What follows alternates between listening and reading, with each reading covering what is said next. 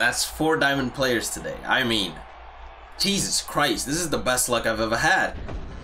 Green, wait, that, this is going to be an enormous week for MLB The Show 22 as the second featured program comes out this week. But before that, we started off with a bang as we get three new diamonds, all three which are pitchers, and two of them you can get for absolutely free. It all starts in the Pitchers Playground. It ends April 29th, so when that second featured program drops, that's when this event ends. You can use basically any hitters and any pitchers as long as the minimum overall of those players are a 60 overall, and then your entire team together is an 88 overall in terms of maximum, all-star difficulty, three inning game. The reward path up until Bob Gibson is Greg Maddux, Bob Gibson, one standard pack, 5,000 stubs, 10,000 experience, a set 5 and a set 6 headliner. 88 overall Greg Maddux is going to play above his attributes. He did it last year and I expect him to do it again this year. He has that sinker and cutter so he already has two of the meta fastballs that you want your pitcher to have. He doesn't have a high hit per 9 at an 83 but it's still doable especially in the early stages of the game where we don't have a ton of hitters with great contact and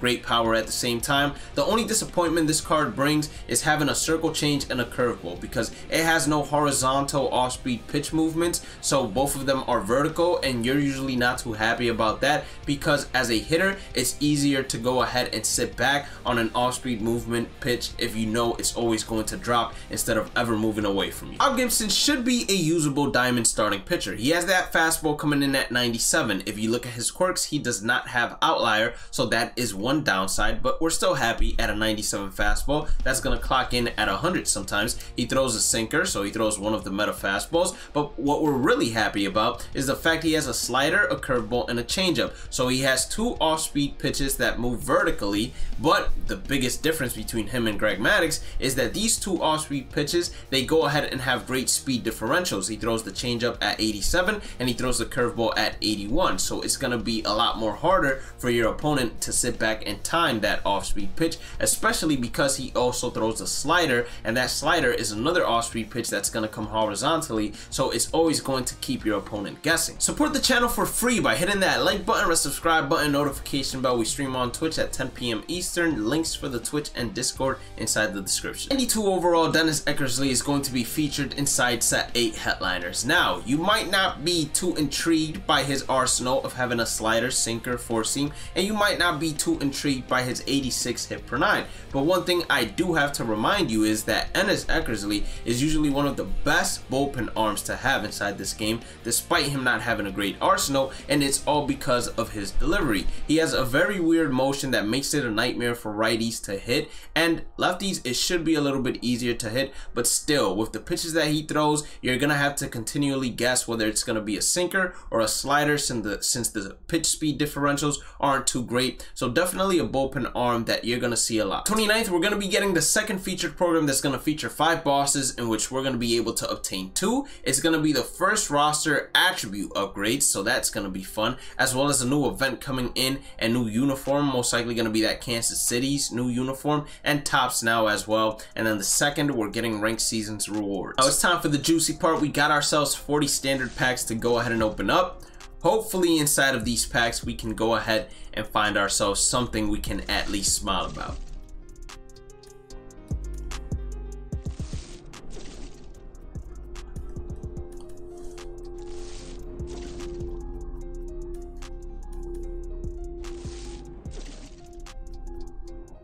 Alright, I was giving it the silent treatment until I saw blue. I finally saw blue, now I'm a little bit happier. Let's see who this diamond is going to be. So purple lights, 100% purple lights, Yankees, it's Gerrit Cole. I think Judge is a 90. So yes, it's gonna be Gerrit Cole. I'm happy with it.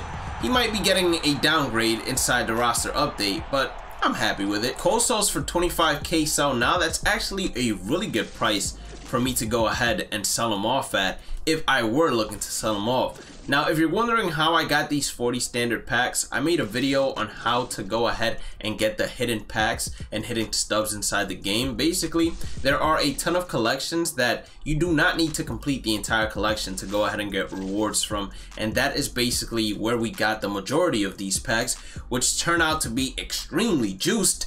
As we get ourselves the second diamond, this one is going to have blue lights, I, I, mean, it looked like blue lights to me. It seems like it's purple at the end of the day. But it, wait, it was actually blue. Okay, I'm not colorblind. I'm not colorblind despite what most people think. We get ourselves Billy Wagner. We already have one of his, so we're just gonna hold on to this one until a big collection comes out. Once a big collection comes out, that's when we're gonna go ahead and sell them off for probably a much better price.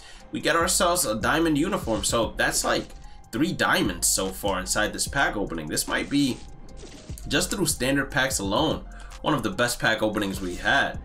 But like I said, I'm gonna go back to giving it the silent treatment in hopes that something comes through.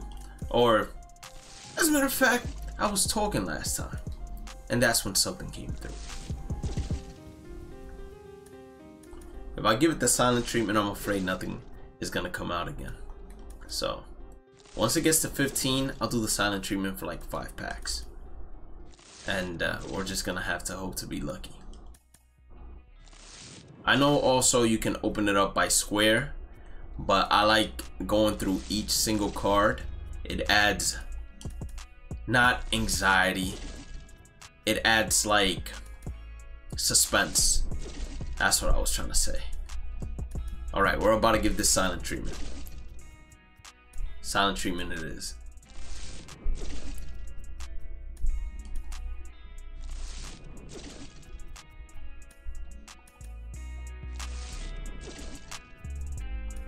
Come on.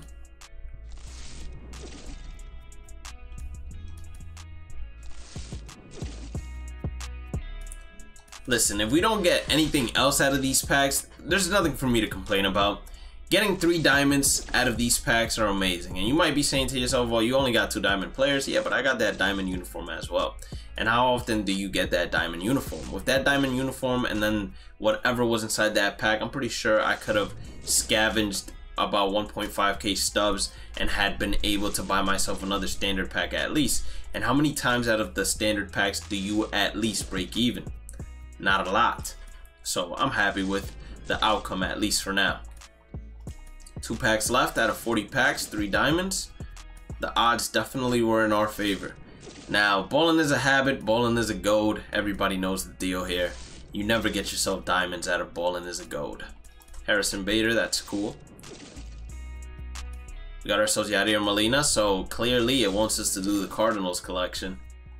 And we get ourselves the Toronto Blue Jays next. So the Birds, that's all I can say. Got ourselves a silver out of that pack. Inside set three, it was Kenny Lofton. We already pulled Kenny Lofton, so don't really need him.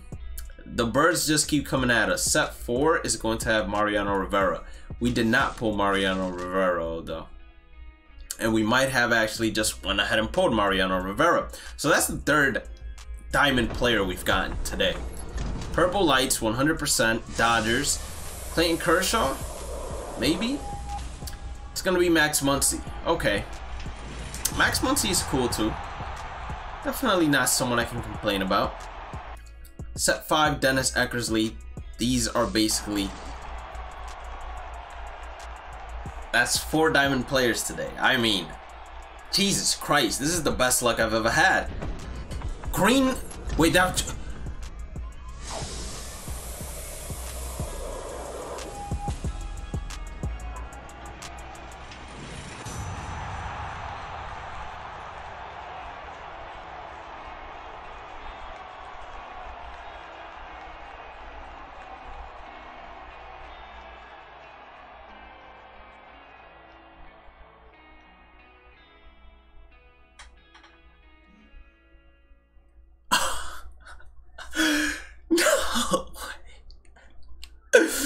Yo, there's no way. Like, holy shit. What? Bro. What?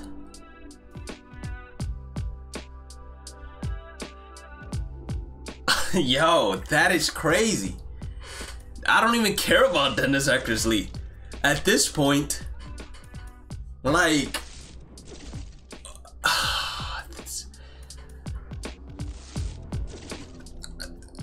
I'm speechless. Hey, man. Hey. Hey, man. Hey, man. Hey, man. Stop it. We do this.